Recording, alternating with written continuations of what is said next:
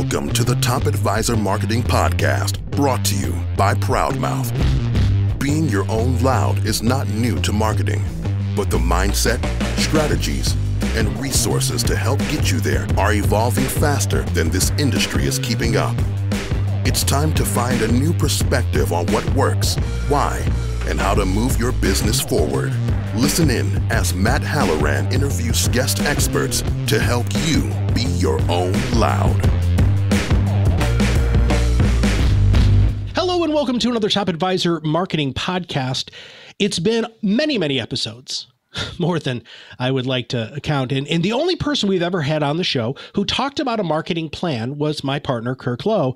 And I have the honor of interviewing somebody who specializes in marketing plans. Her name is Claire Akin. She's the founder of Indigo Marketing Agency.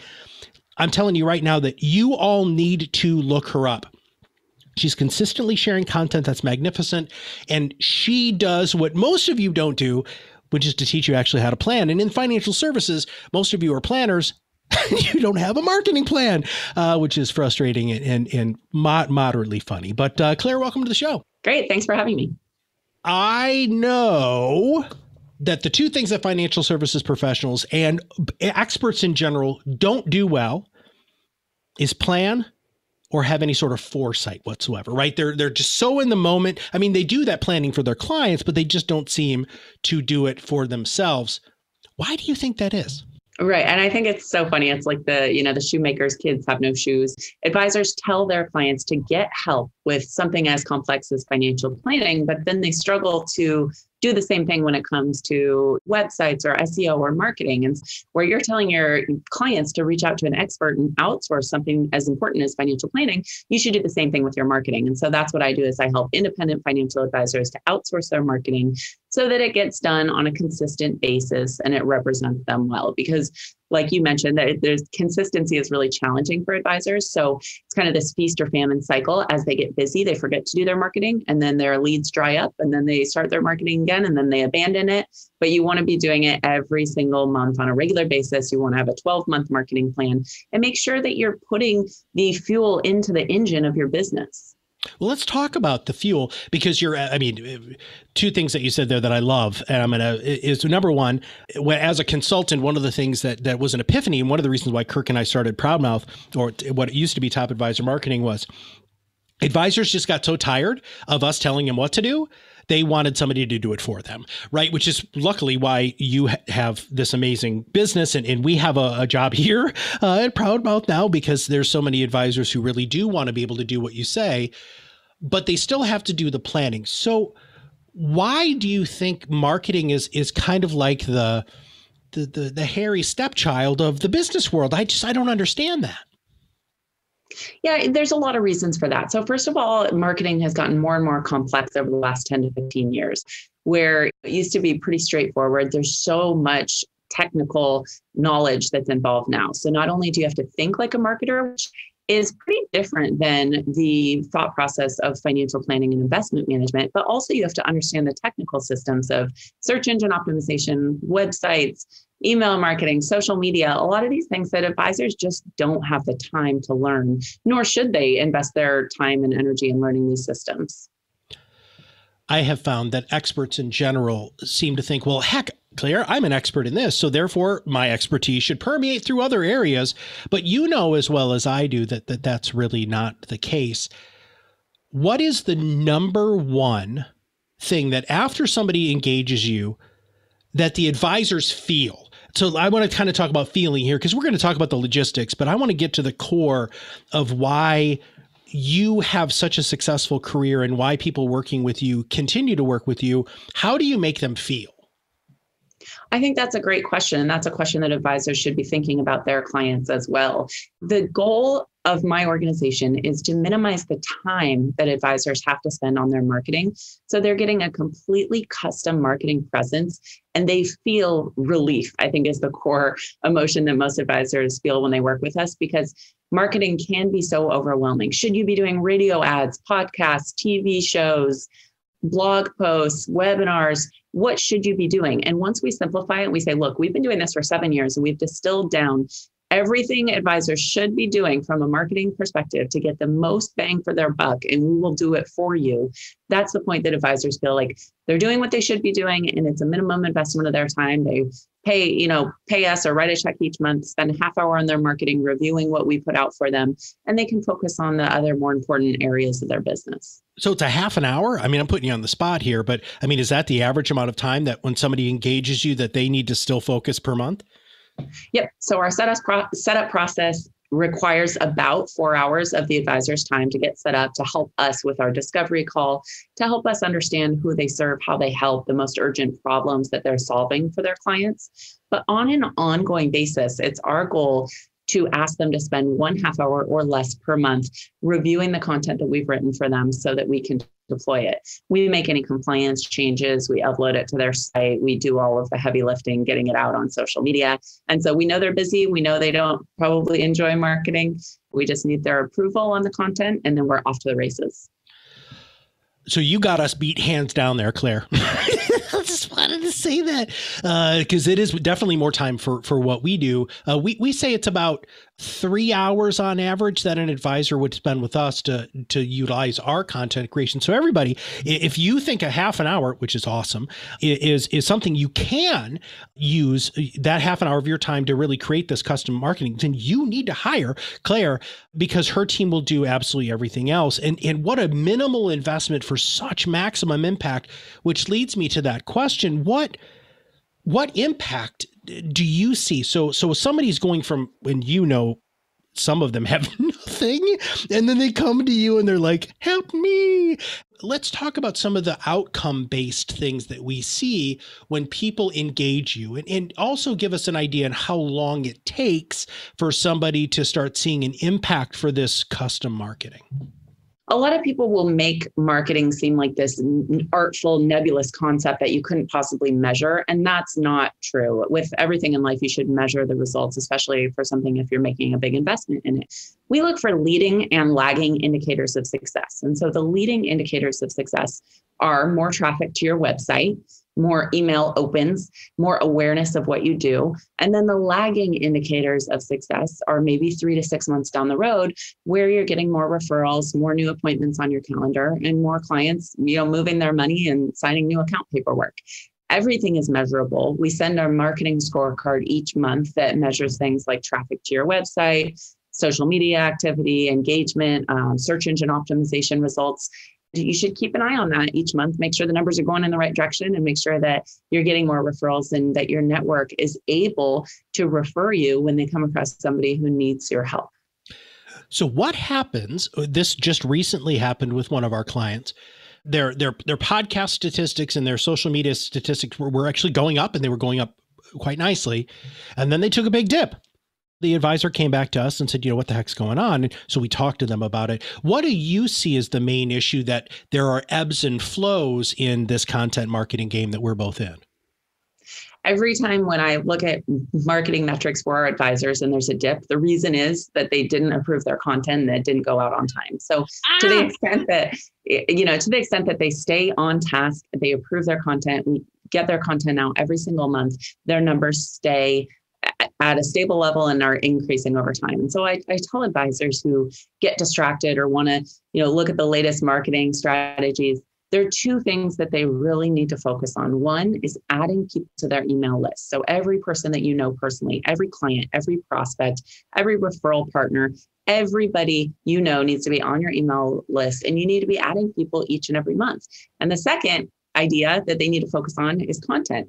Get your content out on time and make it as good as possible. So, we're talking about creating content that really resonates with your audience. What are the questions that your clients are asking you? What are their concerns? What is keeping them up at night? What are your prospects typing into Google? These are the questions we want to answer through your content marketing so that your content's relevant and valuable everybody who's listening to this podcast eh, are going to get a couple of samples that, that you've provided for us. One of them is a is a sample marketing plan or calendar, which by the way is is wonderful and repeatable. So, and I'm not gonna I'm not gonna spend any time because people can just download that Claire.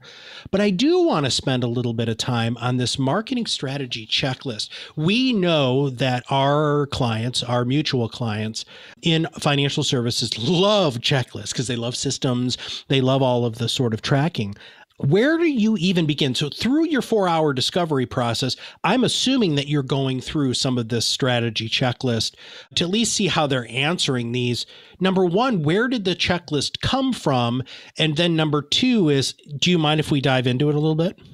Absolutely, sure.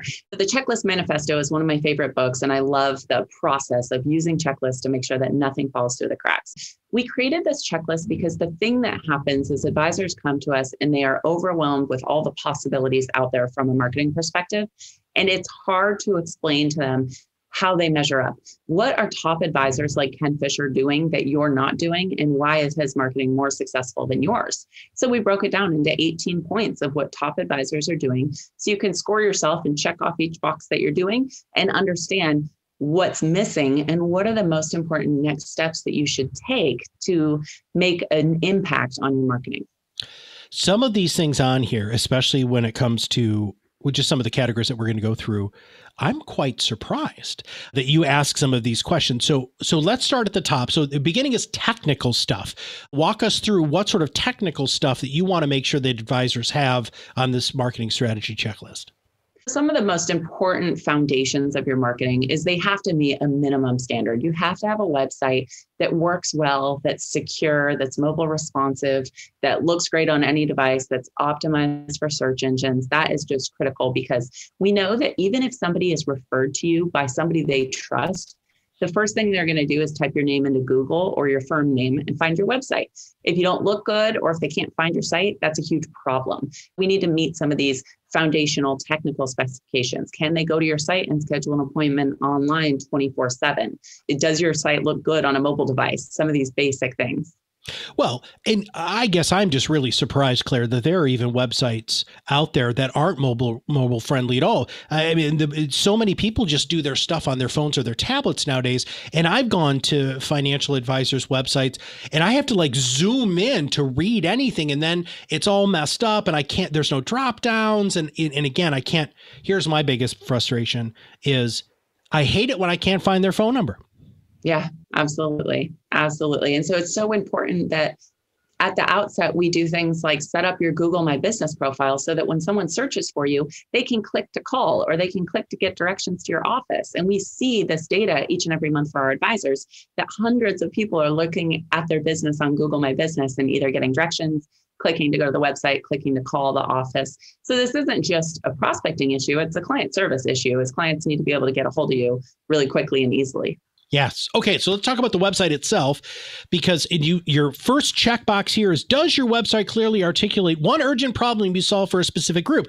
Which means everybody who's been listening to this podcast for the last two hundred and some odd episodes, that once again another marketing person is talking to you about focus your marketing so that you can communicate directly. Let's go through some of the other stuff that you do with the website to make sure that their ducks are in a row.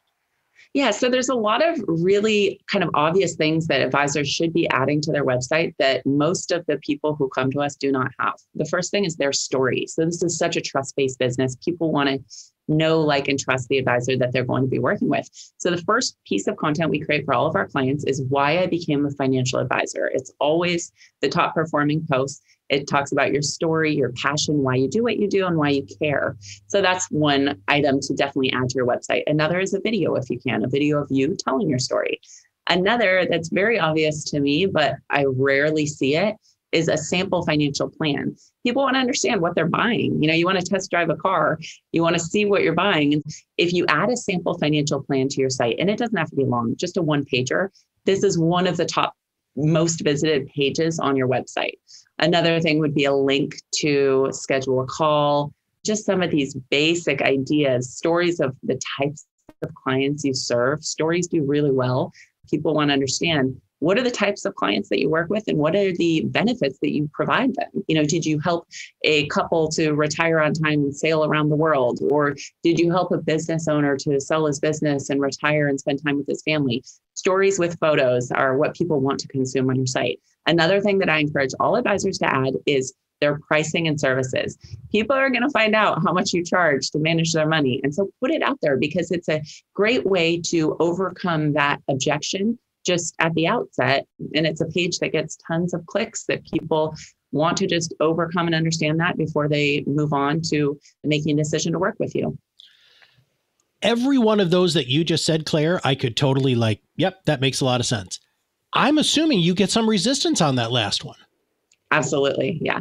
And I, I'm actually working on a video right now of why you need pricing and services on your website because the average advisory fee is higher than you would think. I have a chart on my website that shows the average advisory fee per account uh, level. So, how, you know, a dollar amount and the advisory fee that is typically charged. And I'll tell you that almost all of my clients are lower than that fee because they're competing with some of the huge institutions that charge more in fees. If you can come in lower than the average fee and explain the value that people get from paying that fee, which is typically comprehensive financial planning and investment management, then you're showing a huge value at a great uh, price point. And so I recommend just being really upfront with pricing that you charge. I know there's some reasons that advisors are reticent to do that, but I coach them to at least consider doing that. Well, thank you for doing that, Claire. I, I, think that that is that is a a torch that I'm so happy other people are carrying, uh, because you're right, they are going to find out.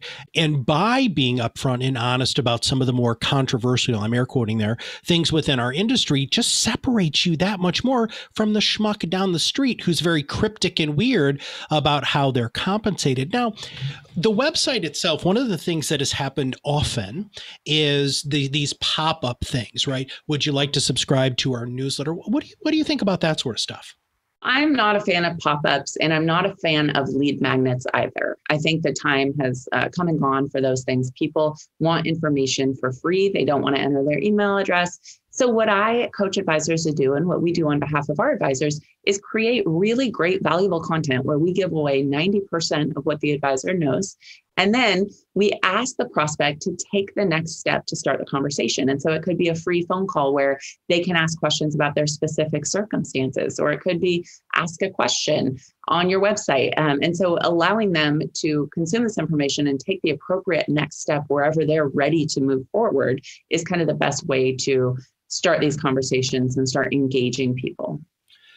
So uh, one of the metrics that you said right at the beginning was to make sure that their email list is growing, that their social media following is growing, but you're not really opening up huge doors for the email.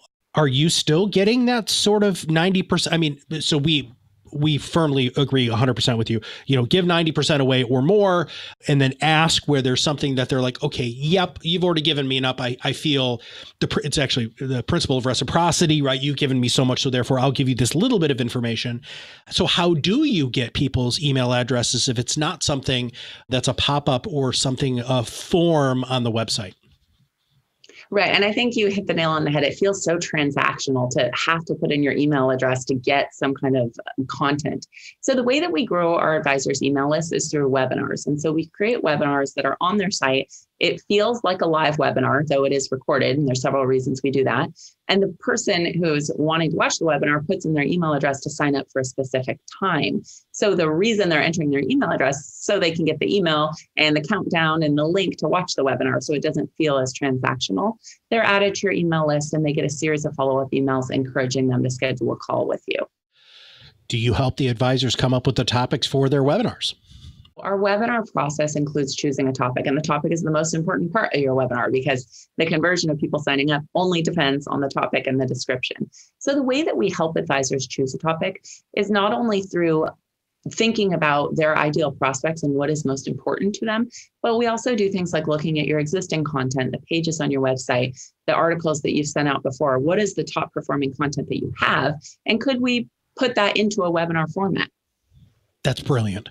I, I absolutely love because that's demand, right? We see demand. So if somebody's interacting with somebody or something on your site or, or whatever, then we know that people are wanting that information. And if we can give them that extra information, then they're just going to be that much happier and again, more interested in communicating with you. I should have said this before. You've got technical stuff, website, communication, social media, video, and metrics on this this checklist that we're going to be providing for all of our listeners. And in communication, you talk about proactively asking for referrals at least twice per year. Twice per year, Claire. Talk to me about that. Absolutely. And this is one of the reasons that it is so important to have somebody else do your marketing. In fact, I even have my team do my marketing for me because it's awkward to ask for referrals and it's awkward to write about yourself often. And so by outsourcing it, you can have a company like ours ask for introductions and referrals in a tactful way. So the way that we help advisors to ask for referrals is by sending out content at least twice a year that says, Do you know somebody who needs our help? Mm-hmm. Maybe it's an article that explains, you know, a recent group of clients that you've helped. So maybe three short client stories. Does this ring a bell of anybody that you know that needs our help? Another idea that's a little less salesy is we're never too busy to help somebody that you care about. Mm-hmm it's important when you take financial advisors, like my dad's an advisor and he's in his 70s now. He's busy and he golfs three days a week. And so his clients don't necessarily know that he's growing his business and that he's taking on new clients. So often they have somebody that needs his help, but they're not ready to make that introduction because they think they're bothering him when that couldn't be further from the truth. So it's important to remind clients the number one you, way that you grow is through referrals, that you are taking on new clients and that you're never too busy to help people that they care about your next category here is social media. And, and I want to really break this down because checkbox number one here is do you have a professionally optimized an active social media profile? And it says on linkedin twitter and then i think it's it's in in twitter for your business. What do you mean by that? What what what what is your what is indigo marketing agency's definition of a professionally optimized social media profile the channels that we recommend using are LinkedIn, Facebook, and Twitter. And so not only do you need your LinkedIn professional profile, but you also need your LinkedIn company page. For Facebook, it's your Facebook business profile. And then for Twitter, we create an account on behalf of your company. There's so many things that you can do to optimize your profiles. In fact, we have a 131 point checklist when we go through and optimize profiles. Things like adding a cover image, a headline, know, the information about your hours and your website and your phone number. And so it's important to fully fill out all of these sections, which we do for our advisors. And then also to have your profiles be active. By that, I mean posting at least three times a week. The reason is not just so more people are seeing you on social media and it's another touch point of your clients and your prospects seeing you, but also it is indicating to search engines that you have a legitimate business that is active and that you are who you say you are and that your business is thriving and your social media profiles are active and that tells search engines they give you a little bit more credit from an SEO perspective. Do you find that there are specific niches or niches, depending on what area of the country you live in, that work more effectively on any of those big three, or does it matter to you? You're going to hit those three no matter what? Yeah, that's a great question. And so when we see advisors that are working with, you know, women or divorcees or retirees, Facebook is going to be the go-to place. And so we would do, you know, some Facebook work and Facebook ads there. But a lot of the advisors that we work with actually do employer specific campaigns. So Intel employees, Amazon employees, employees of large hospitals, LinkedIn is really the place to go there because we can target everybody from a specific employer tell me a little bit about your Twitter strategy because I get asked this all the time because Twitter is so quick. It's very, very different from a news feed perspective or a, or a, a user interface perspective. Are you publishing more frequently in different areas or are all of them going out roughly the same volume? So we always publish three times a week to all of the profiles. Twitter isn't our, our core focus. I will say there are some advisors we have that get a lot of traffic to their site from Twitter, but that is not the majority of our advisors. The reason we do Twitter for everyone is from an SEO perspective, but rarely do we see people getting a lot of traffic to their site from Twitter. Usually it's just a, a small trickle. Gotcha. Now, uh, one of the other things in, in social media here in this category is calls to action. So, how do you help advisors come up with a call to action that sounds like them, feels like them, but doesn't come across as being pushy? It's important to realize that there should be an appropriate next step no matter where somebody is in the buying process.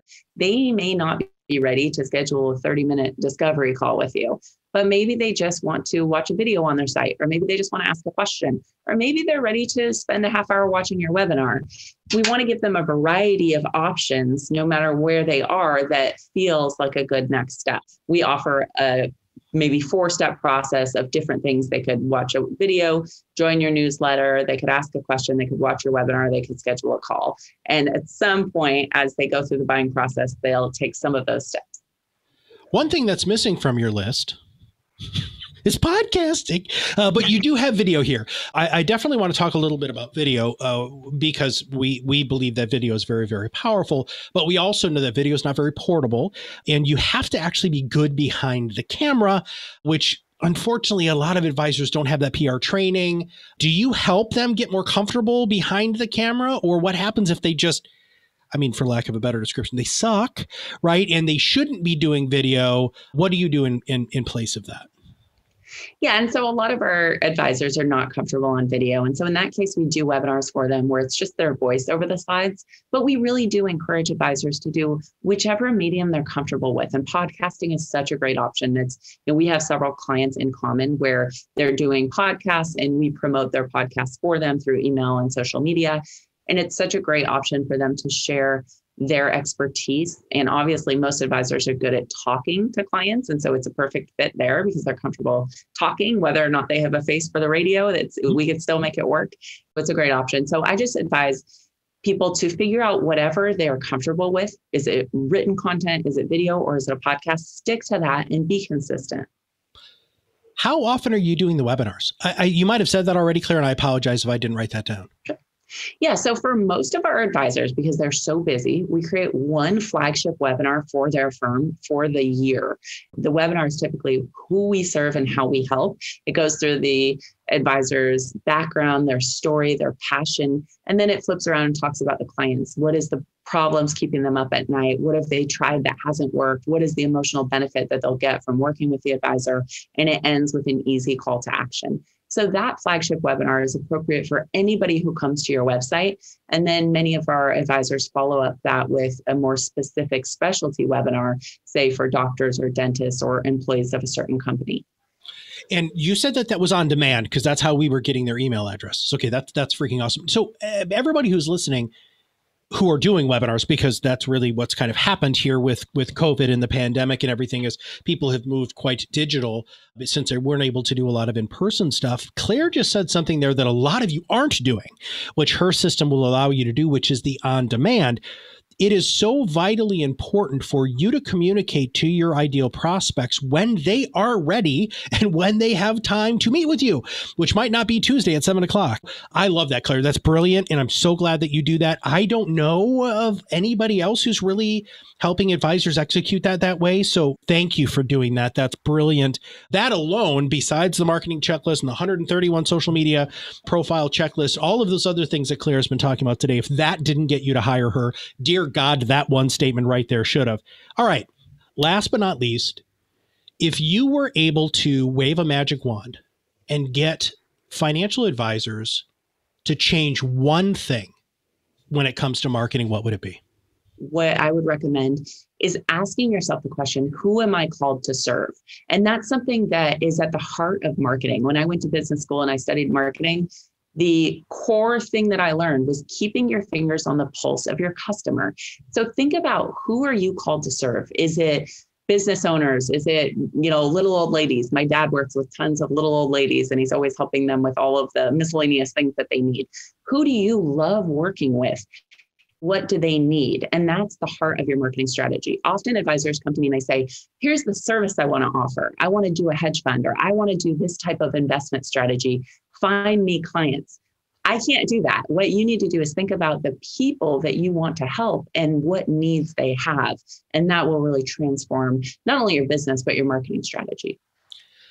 And it will also make it so that when you wake up in the morning, you have focus as a as an ex recovering business consultant in this industry focus is something that's very difficult. And this you know claire you've been asked to speak and you speak all over i know north america. I don't know if you've spoken all over the world. I probably wouldn't imagine that you haven't. But the idea here is is you know ch- uh, chasing the next shiny object when it comes to marketing doesn't allow you to focus so that you're going to kind of in what i jokingly say half-ass everything instead of full ass it right? Which is what we want to do with our marketing program is having major serious focus. We just got a new client recently who focuses on a health system in a very specific town. Some of his peers were like, You can't do that. And he's like, They've got 40,000 employees. 40,000. Like, I, I couldn't even manage to serve all of those people if I wanted to. He's like, I want 1%, right? I mean, 1% makes his whole career. And when he wakes up in the morning, he's like, this is who I'm talking to. This, and I know that, right? There's an amazing feeling of relief from a marketing perspective when you have great focus. So thank you, Claire, for saying that. That was wonderful. If somebody wants to reach out to hire you, which freaking people should really hire you from this, this is awesome. I learned so much. What is the best way for them to reach out and where should they follow you if they want to learn more? So you can go to our website, indigomarketingagency.com. You can schedule a marketing consulting call where I'll actually go through this checklist with you and make my recommendations to improve your marketing. You can follow me on LinkedIn, Facebook, and Twitter and watch my videos on my site. There's also a webinar on there that is a, a deep dive into what I believe is the truth about marketing for financial advisors that will change the way you think about growing your business and put you in the driver's seat of growing your business in the future. You can also check out my book on Amazon. It's called The Marketing Guide for Financial Advisors. And we will make sure that we have links to all of those things, Claire, in our show notes. Thank you very much for being an absolutely amazing guest. Claire Akin, founder of Indigo Marketing Agency and a marketing consultant who specializes in working with financial services professionals. Thanks, Claire. Great. Thanks for having me. It was a pleasure. All right, everybody, if you have not subscribed to the podcast, make sure you click that subscribe now button below. That way, every time we come out, with a new podcast will show up directly on your listening device. And surprisingly enough, we just recently interviewed a gentleman who is the CEO of a company called Blubrry that publishes 85,000 podcasts a month. And he said, You know what, Matt? You should put it out there that you guys are looking for a sponsor. So I kind of feel weird about saying that, but you know what? I'm going to say it. So if you guys would like to sponsor our podcast, all you have to do is email me, Matt at topadvisorm, or even better, email me at At proudmouth.com, P R O U D M O U T H.com. They both go to me, but uh, I'm supposed to use the new email address. So, for everybody at Indigo Marketing and everybody here at Proudmouth, this is Matt Halloran, and we'll see you on the other side of the mic very soon. Thanks for listening to the Top Advisor Marketing Podcast, brought to you by Proudmouth. If you want to learn more about how to be your own loud podcast, visit our website read our blog posts, attend educational webinars, and sign up for Influence Accelerator Academy.